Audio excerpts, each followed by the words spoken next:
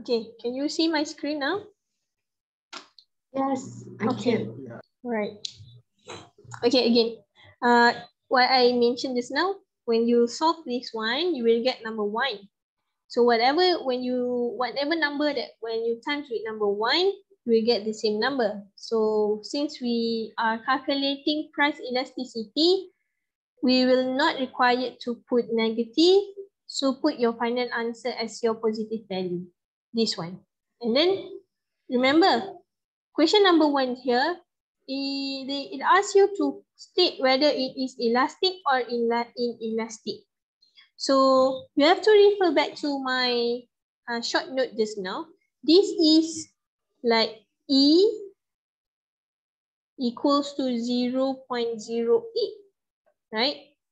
So if your E or your elasticity is 0 0.08, go look back at our short notes, price elasticity, what is the degree? If the E is at 0 0.08, means the elasticity is less than 1, right? Am I correct? 0 0.08 is less Yes, than 1. yes. So your degree is inelastic. Okay, what you should put as your final answer is like this. This would this would mean that for every 1%, this is number one, change in price, quantity, demand would change by 0.08%. Okay, therefore, goods X is inelastic. We already identified the degree. Because, why it's inelastic? Because the ED is less than number one. Okay. So this is should be your final answer if the question asks you to either state elastic or inelastic. Okay. Okay. Okay. You want to maybe screenshot this one or are you trying to jot down the answer?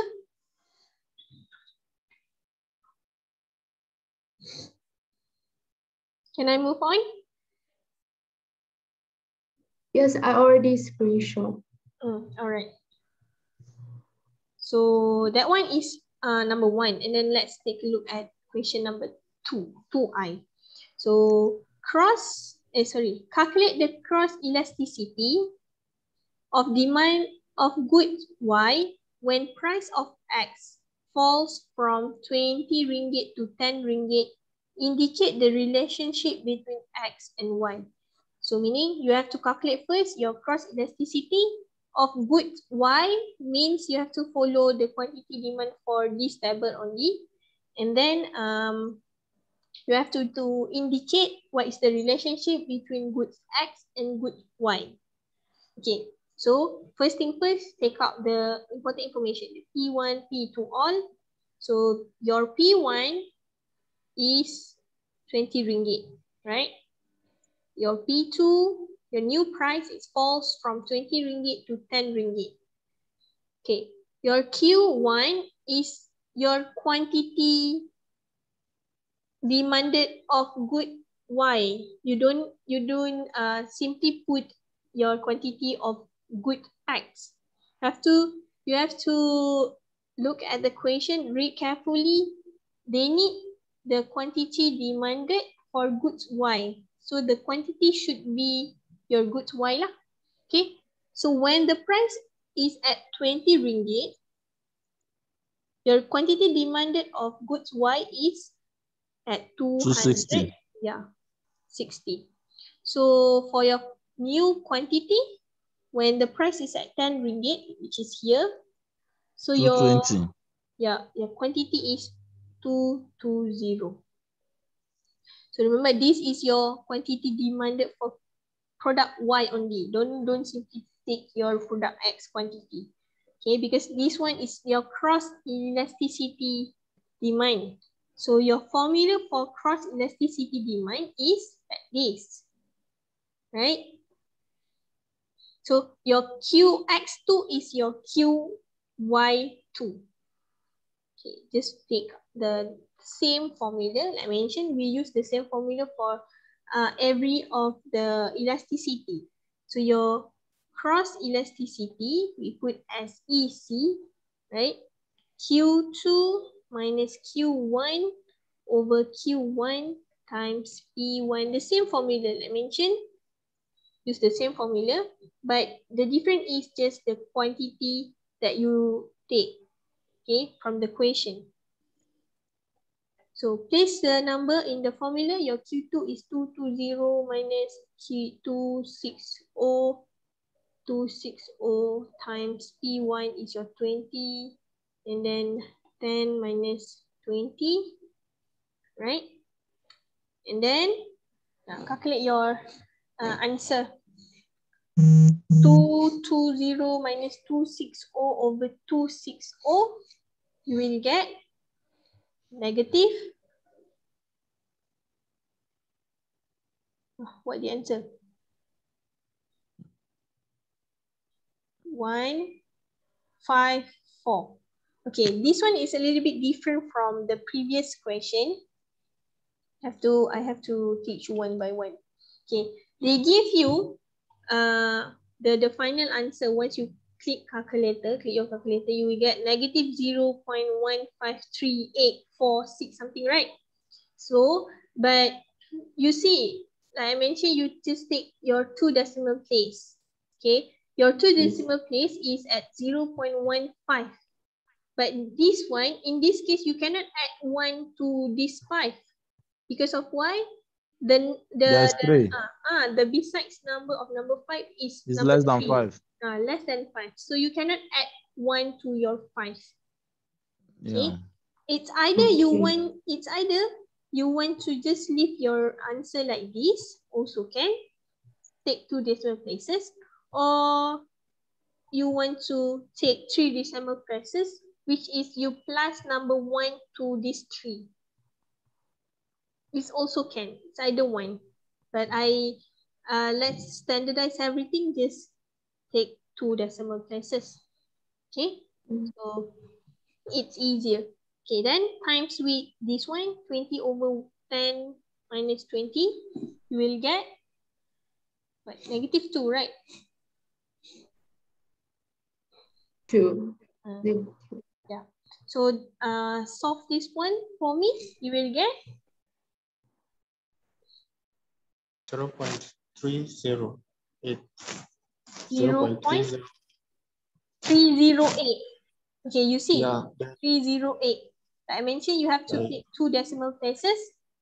okay. Okay, so this one is more than 1, right? Eh, sorry, more than 5, right? 8 Five. is more than 5. Zero point zero three one. Ah, so Three you have to add this one number one to this zero. Add one to this zero. So your final answer is 0 0.31. Okay. Okay, so this is your uh, cross elasticity answer. But then they ask you to indicate the relationship between X, Y, eh, sorry, between product X and product Y. So how you are going to know the relationship? Look back at the degrees. Okay, look at back at our short note just now. This means E equals to 0 0.31. So if E equals to 0 0.31, look at your degree. For cross elasticity, right? We are now calculating cross elasticity. Look at the degree. 0 0.31 is positive value, right? So if it's positive, meaning the relationship between X and Y is substitute good. This one. Mm. So that's why I mentioned, I, I asked you to jot down maybe the short note. So it's a formula for you. So what you need to do, in the final answer, you have to put or you have to write the cross elasticity for these goods x and y is 0 0.31. Therefore, the relationship you cannot just state the the relationship but you have to do like some of explanation on it like this lah. Two goods are substitute good. Okay because the cross elasticity is positive. Done. Okay. Then screenshot it.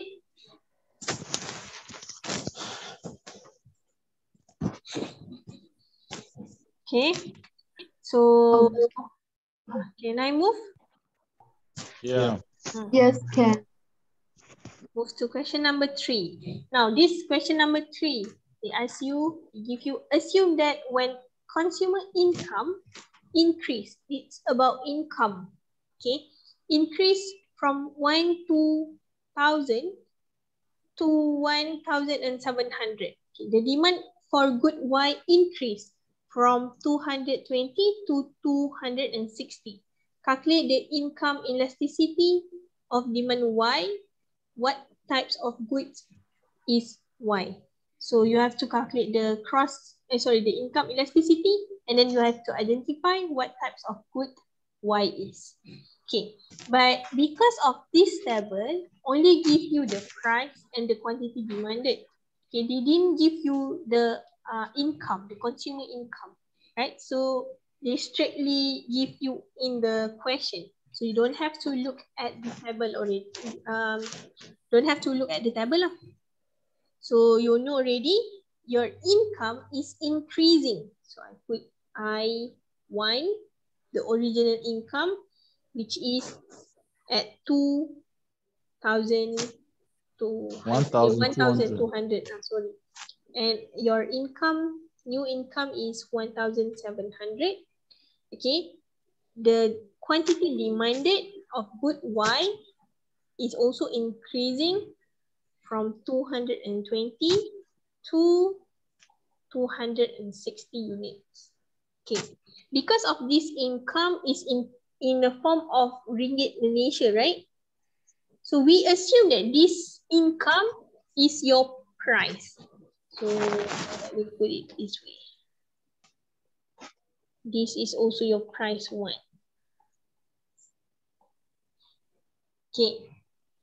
So like mentioned, we use the same formula for everything. So for this one, um, income, right? Elasticity of income. So we put I. The formula is the same formula times P1 over P2 minus P1. Okay, place the number the formula. Your Q2 is 260 minus 220 over 220 times your price is your income. Okay, because this is related to your income. So income is in a form of RM, so we assume it is uh, your price. So your P1 is 1200 over 1700 minus 1200. Okay. So once you solve this one for me, the quantity you will get what? 0 point? 1 8. Yeah, 1 8. Okay. If you got like uh, other numbers behind there, remember round it off to two decimal places. All right. Times width 2.4. Yeah, yeah, yeah. Correct. Okay. Now solve this one for me. You will get 0 0.43. Correct? Means this is, is your EI. So, Madam. Ah. Please, I'm still confused about this uh, I'm fine. And I am I I just like to know how you get the answer, not just for me to be listening to the class. Now, this 260, I'm using my own calculator here. 260, is it not 260 minus 220? 250. Yes. Uh, you multiply 1,200 to get 20.24. Or how do you No, come no, across the no, no. 0.1 0.18? How, how do you calculate it, please? Oh, how I get 0.43 or how, how I get 2.4? How 0., this 0.18 first. How you get 0.18 first? 2.4. Oh, okay. Hold on. You just have to solve this one formula. me. Uh, what your name just now, Victor or? I follow the formula. Yes. Huh, and then? 260 minus 220. I said two, this is where I calculate on my calculator. 260 Okay. minus 220. 260 minus 220 multiplied by 1,200. Eh, why No, you no, manipulate? you Why didn't manipulate? understand that. Divided by 220. You I don't divided to your wrong number. Okay. Hmm. 260 Minus Minus 200 to... 220. Ah, 260 Divided by 220. Divide by 220, you get Ah. um, You bring down your answer. 0.18. Mm. Okay. 260 divided by 220. Yup. You wrongly divided the number. Okay. Then if, if 260 divided by 220 it gives me here 1.18.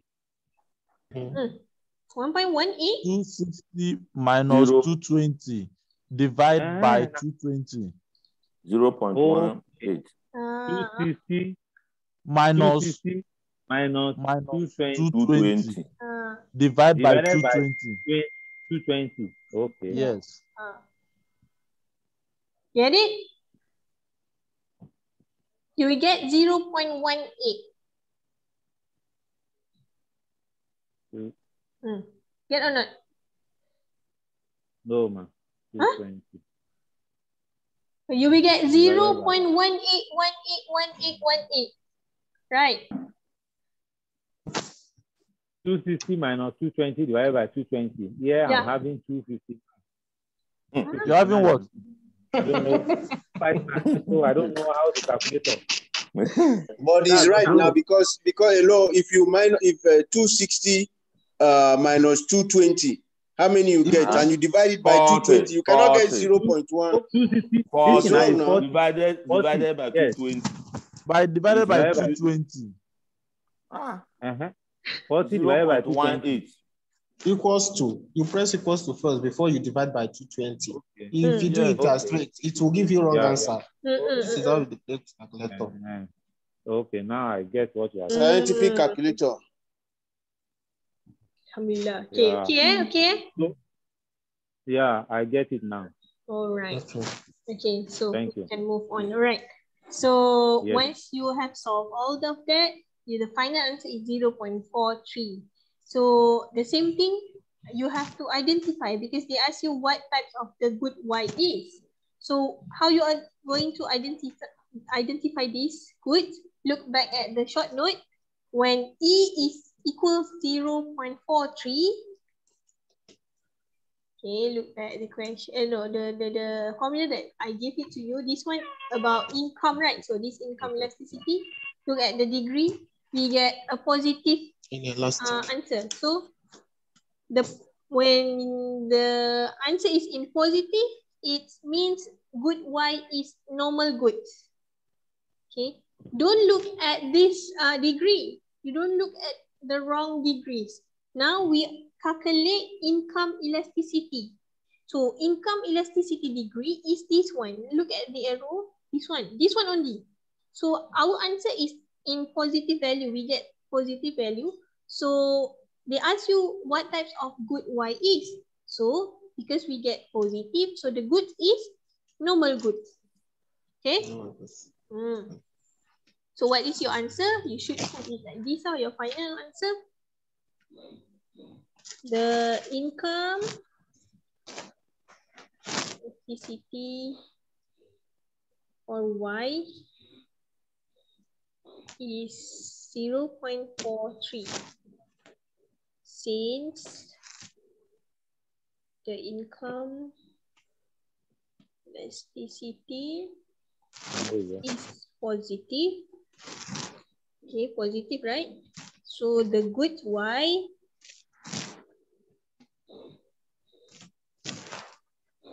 would be interpret. Oh, sorry. Wait. Interpret as normal goods. Done. This is how you answer your uh, chapter 4 question. Only want to wait to Right. but now you Screenshot uh, the answer or maybe jot down anywhere. Or you want um you want a soft copy of my answer. I Yes. When? Huh? When? Yeah, I think that would be better. Yeah. Okay. Because this one also can be saved. These notes can be saved. So I will also provide you this one. Maybe not in the Google Classroom. I will just post it in the WhatsApp group and also WeChat. Okay. But you have to zoom it because this one uh, is like a long note in terms of uh, PNG form. So you have to zoom to look at the answer. Okay. So done. That's all for tutorial uh, for today.